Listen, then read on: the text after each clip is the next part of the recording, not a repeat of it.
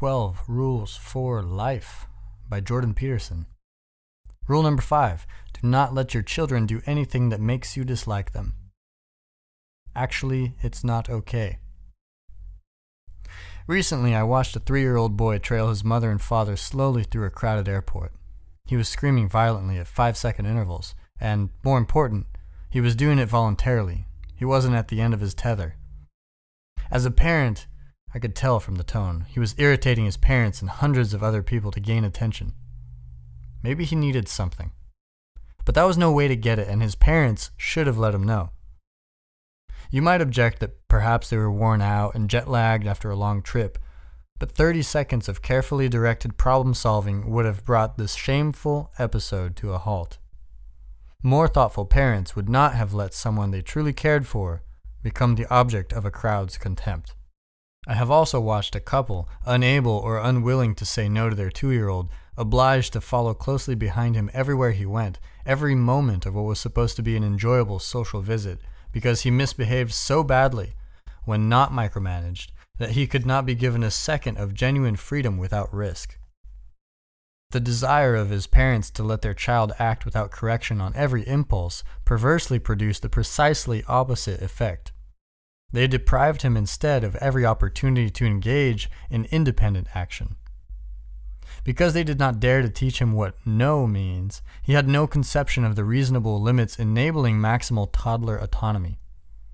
It was a classic example of too much chaos breeding too much order, and the inevitable reversal. I have, similarly, seen parents rendered unable to engage in adult conversation at a dinner party because their children, four and five, dominated the social scene, eating the centers out of all the sliced bread, subjecting everyone to their juvenile tyranny, while mom and dad watched, embarrassed and bereft of the ability to intervene. When my now adult daughter was a child, another child once hit her in the head with a metal toy truck. I watched that same child one year later viciously push his younger sister backwards over a fragile glass surfaced coffee table. His mother picked him up immediately afterward, but not her frightened daughter, and told him in hushed tones not to do such things while she patted him comfortingly in a manner clearly indicative of approval. She was out to produce a little god emperor of the universe. That's the unstated goal of many a mother, including many who consider themselves advocates for full gender equality. Such women will object vociferously to any command uttered by an adult male, but will trot off in seconds to make their progeny a peanut butter sandwich if he demands it, while immersed self importantly in a video game. The future mates of such boys have every reason to hate their mother in law. Respect for women? That's for other boys, other men, not their dear sons.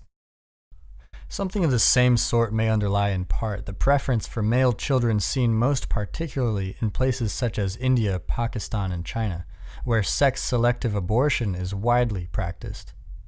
The Wikipedia entry for that practice attributes its existence to cultural norms, favoring male over female children. I cite Wikipedia because it's collectively written and edited, and therefore the perfect place to find accepted wisdom. But there's no evidence that such ideas are strictly cultural.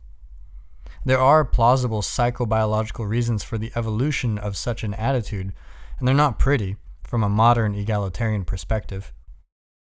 If circumstances force you to put all your eggs into one basket, so to speak, a son is a better bet by the strict standards of evolutionary logic, where the proliferation of your genes is all that matters. Why? Well, a reproductively successful daughter might gain you eight or nine children, the Holocaust survivor Yitta Schwartz, a star in his regard, had three generations of direct descendants who matched such performance. She was the ancestor of almost 2,000 people by the time of her death in 2010. But the sky is truly the limit with a reproductively successful son. Sex with multiple female partners is his ticket to exponential reproduction, given our species' practical limitation to single births. Rumor has it that the actor Warren Beatty and the athlete Wilt Chamberlain each bedded multiple thousands of women, something not unknown as well among rock stars. They didn't produce children in those numbers. Modern birth control limits that. But similar celebrity types in the past have done so. The forefather of the Qing dynasty, Jiu Kanga, uh, how do you say that? Chu Kang circa 1550, for example, is the male line ancestor of a million and a half people in northeastern China.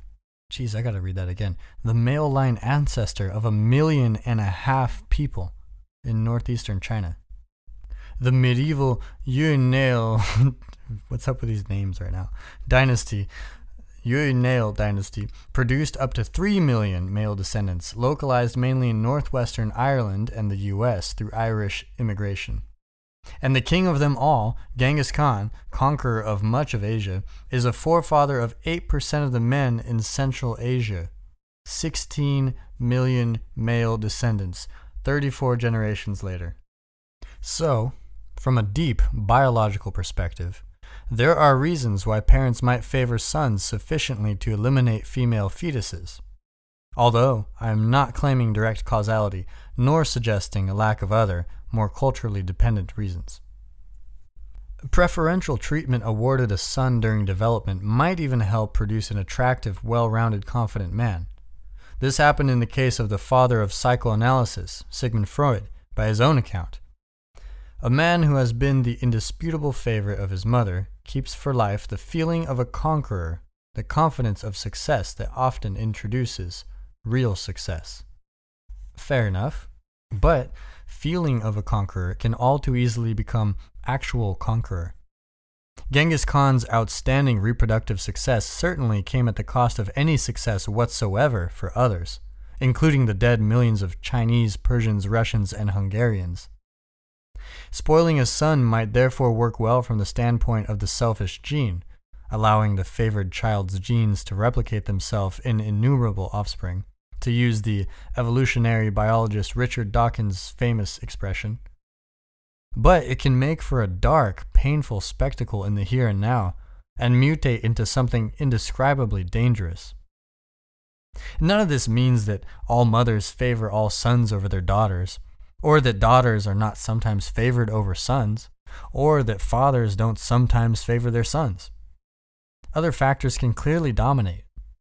Sometimes, for example, Unconscious hatred, sometimes not so unconscious either, overrides any concern a parent might have for any child, regardless of gender or personality or situation. I saw a four year old boy allowed to go hungry on a regular basis. His nanny had been injured, and he was being cycled through the neighbors for temporary care. When his mother dropped him off at our house, she indicated that he wouldn't eat at all, all day. That's okay, she said. It wasn't okay, in case that's not obvious. This was the same four year old boy who clung to my wife for hours in absolute desperation and total commitment when she tenaciously, persistently, and mercifully managed to feed him an entire lunchtime meal, rewarding him throughout for his cooperation and refusing to let him fail. He started out with a closed mouth, sitting with all of us at the dining room table, my wife and I, our two kids, and two neighborhood kids we looked after during the day. She put the spoon in front of him, waiting patiently, persistently, while he moved his head back and forth, refusing it entry, using defensive methods typical of a recalcitrant and none too well attended two year old. She didn't let him fail. She patted him on the head every time he managed a mouthful telling him sincerely that he was a good boy when he did so. She did think he was a good boy. He was a cute, damaged kid. Ten not too painful minutes later, he finished his meal. We were all watching intently. It was a drama of life and death. Look, she said, holding up his bowl, you finished all of it. This boy, who was standing in the corner voluntarily and unhappily when I first saw him, who wouldn't interact with the other kids, who frowned chronically, who wouldn't respond to me when I tickled and prodded him, trying to get him to play. This boy broke immediately into a wide, radiant smile. It brought joy to everyone at the table.